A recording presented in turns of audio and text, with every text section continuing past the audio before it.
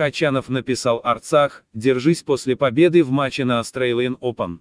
Карен Хачанов написал Арцах, держись после выхода в одном дробь 8 финала Australian Open. Российский теннисист сделал это на стекле, через которое его снимала телекамера после победы над американцем Фрэнсисом Тиафо в третьем круге турнира «Большого шлема».